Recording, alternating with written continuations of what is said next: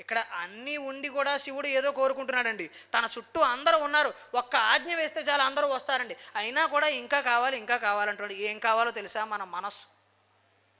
దానికే చెబుతున్నాడండి. గభీరే కాసారే విశతి విజనే ఘోర విపినే విశాలే శైలే చ భ్రమతి కుసుమార్థం జడమతి సమర్ప్యైకం చేత సరసిజం ఉమానాథ భవతే సుఖేనావస్థాతుం జనైహన జానాతి కిమహో ఆశ్చర్యకరమైన శ్లోకం అండి. భక్తులు ఎంత కష్టపడతారో తెలుసా? భగవంతుడి కోసం వినాయక చవితి కోసం ఇరవై ఒక్క ఆకులతో మనం వ్రతం చేస్తామండి. వినాయకుడికి శివుడి కుమారుడు వినాయకుడు. వినాయక చవితి రోజు మనం ఇరవై ఒక్క రకాల ఆకులతో పూజలు చేస్తామండి.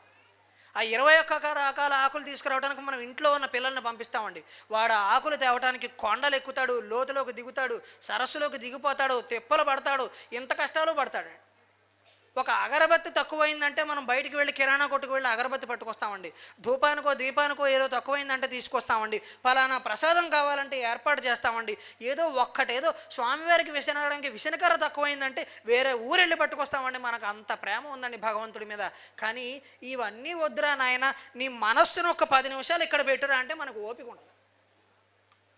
మన ఆశ్చర్యం చూడండి. అంటే మనకి ఏర్పాట్ల మీద ఉన్న ఇబ్బంది మన శివరాత్రి అనగానే పెద్ద పెద్ద లైట్లు పెట్టేయాలి పెద్ద పెద్ద సౌండ్ చేసేయాలి. అసలు దగ్గరలో మనలాంటి శివరాత్రి ఇంకొకటి చేయకూడదు అన్నట్టుగా మనం ఏర్పాట్లు చేసేస్తామండి. కానీ ఎంత చేశాక కూడా నేను ఎవరిని అనడం లేదండి ఆలోచించాలండి. ఇక్కడ కార్యక్రమం ఏర్పాటు చేసిన కార్యకర్తల దగ్గర నుంచి వచ్చి వింటున్న భక్తుల వరకు బయట కూర్చున్న డ్రైవర్ల వరకు అందరూ ఆలోచించవలసింది ఒకటే అండి.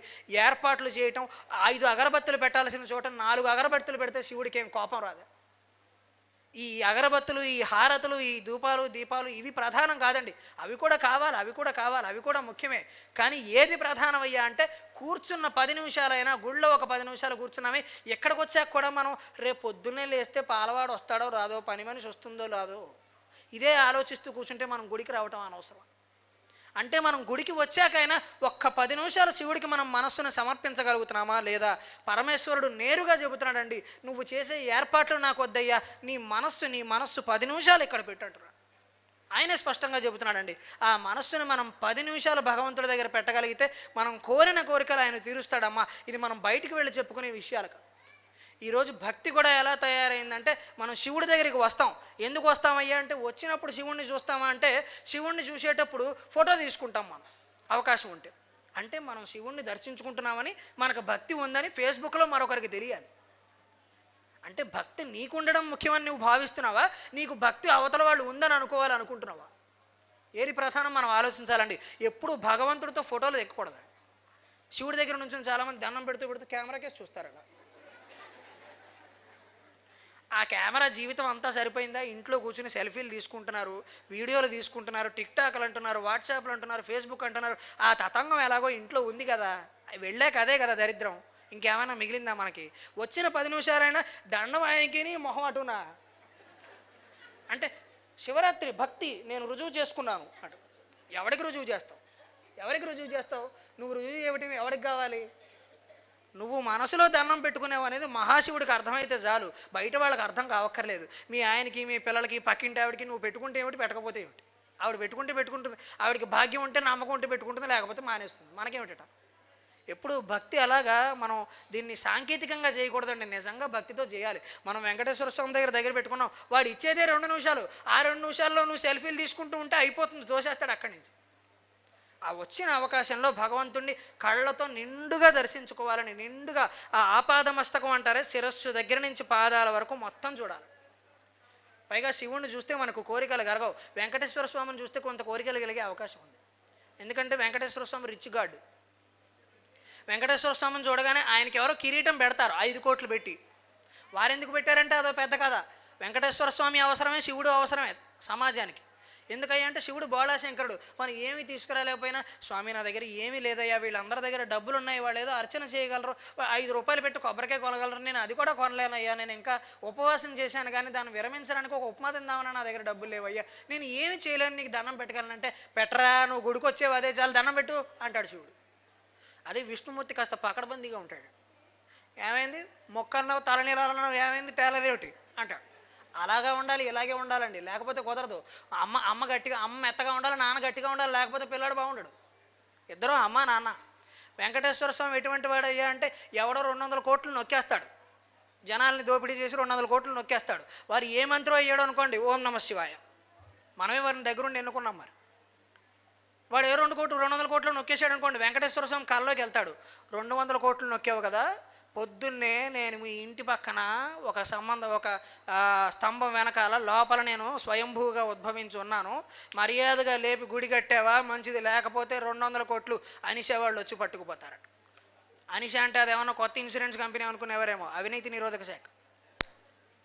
వాడు వచ్చి ముద్దన పొద్దున్నే మొత్తం గోవిందా గోవిందా రెండు వందల కోట్లు పట్టుకుపోతాడు. వీడికి భయం వచ్చేస్తుంది. అర్ధరాత్రి లేచి పొద్దున్నే గుడి కట్టేస్తాడు. వాడు మాత్రమే కట్టగలడండి. మీరు నేను కట్టలేము. గుడి కట్టాలంటే వంద కోట్లు కావాలి మన దగ్గర ఎక్కడ ఉన్నాయి వాడే కట్టగలడు. అందుకని భక్తులకి దబాయించే దేవుడు అవసరం కాస్త మెత్తగా చెప్పేవాడు అవసరం. క్షమించేవాడు ఉన్నాడండి శివుడు. అమ్మ చూడండి మనం ఎంత తప్పులు చేసినా కూడా నాన్నగారు అలాగే అంటారా? ఆయనకి ఏం తెలుసు? ఏం కాదులే అమ్మ ఇంకోసారి చేయొచ్చులే ఈ పూటకి అన్నం తినే అంటుంది. నాన్నగారు అలా కాదు కుదరదు నువ్వు ఆ తప్పు చేసే వరకు మా అన్నం తినడానికి వీలేదు అంటాడు ఆయన అలాగే ఉండాలి ఈవిడ ఇలాగే ఉండాలి. ఇద్దరు గట్టిగా ఉన్నారనుకోండి పిల్లాడు ఇంట్లోంచి వెళ్ళిపోతాడు. ఇద్దరు మెత్తగా ఉన్నాడు అనుకోండి పిల్లాడు మొండాడు తయారవుతాడు. ఒకరు అరాగా ఒకరు ఇలాగా ఒకరు ఖర్చు పెట్టేవాడు ఉంటే ఒకరు పిసినారు వాళ్ళు అవ్వాలి. భర్త ఖర్చు పెట్టేవాడు అనుకోండి భార్య కొద్దిగా లాగే ఆవిడే అవ్వాలి. ఆవిడ పది రూపాయలు బీరకాయ అనగానే ఒక్క రూపాయికి రాదా? అనాలి.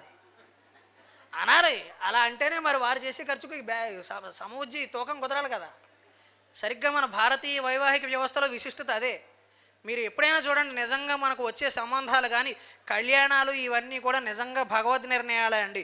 ఎవరికైతే నిజంగా సత్సంప్రదాయం ప్రకారం భార్య కానీ భర్త కానీ వస్తారో వారికి మనకి మా మాకు మాకు అన్ని మ్యాచింగ్ అన్ని మ్యాచింగ్ అంటారు. అన్ని మ్యాచింగ్ అయితే సంసారం బాగుండదండి.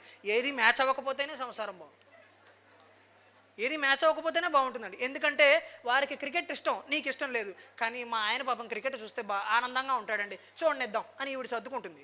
ఆవిడికి మోగ మనసుల సీరియల్ ఇష్టం. ఈయనకి ఇష్టం లేదు. ఆయన కూడా ఫోన్లే నన్ను క్రికెట్ చూడనిచ్చింది కదా ఆ మోగ మనసుల సీరియల్ ఏదో చూడండి అంటారు ఒకళ్ళ కోసం ఒకళ్ళు సర్దుకుంటారు. అదే ఇద్దరికి ఒకటే ఇష్టం అనుకోండి ఆ ఒక్కటే దొరకని రోజున ఇద్దరు విడాకలే. అందుకే ఎప్పుడు ఒకరు అలా ఉండాలి ఒకరు ఇలా ఉండాలి. సైన్స్ చదువుకునే పిల్లలకు అర్థమవుతుందండి. South pole south pole attract అవ్వవు. South pole north pole attract అవుతాయి.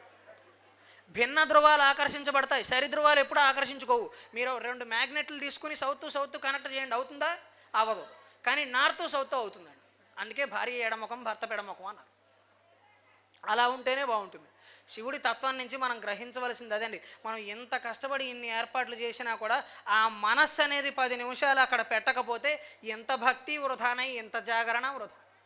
మనస్సు పది నిమిషాలు అక్కడ పెట్టాలమ్మ. నిద్ర వస్తుంది కాస్త ఓపిక చేసుకోవాలి. ఏ సెకండ్ షో సినిమాకి వెళ్ళినప్పుడు నిద్ర రాలేదా? ఇప్పుడు వచ్చిందా నిద్ర? అలాగే ఆలోచించాలని కాస్త. ఫ్రెండ్స్తో బయటకు వెళ్ళడానికి నిద్ర రాలేదే? శివుడు అనేసరికి నిద్ర వచ్చిందా?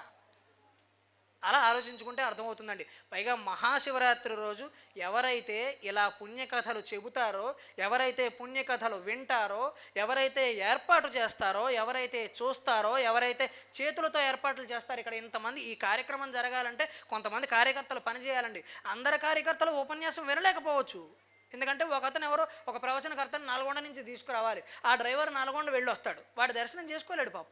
కానీ మరి వాడికి భక్తి ఎలా వస్తుందండి? వాడికి మోక్షం ఎలా వస్తుంది? భగవంతుడు ప్రసాదిస్తాడండి. ఏదో రకంగా నువ్వు ఎవరిని తీసుకొచ్చావు? ఒక ప్రవచనకర్తను తీసుకొచ్చావు. ఎందుకు తీసుకొచ్చావు? భక్తి గురించి ఆయన చెబుతాడు కాబట్టి తీసుకొచ్చావు. అది కూడా శివభక్తి. నిన్ను అనుగ్రహిస్తున్నాను అంటాడు మరి వాడు పాపం రాలేడు. వాడు బయటే ఉంటాడు డ్రైవరు. వాడి పరిస్థితి వాడిది. అందరినీ అనుగ్రహిస్తాడండి భగవంతుడు. ఇందాక శ్లోకంలో అన్నీ ఉన్నా కూడా మన మనస్సు కోరుకుంటున్నాడు you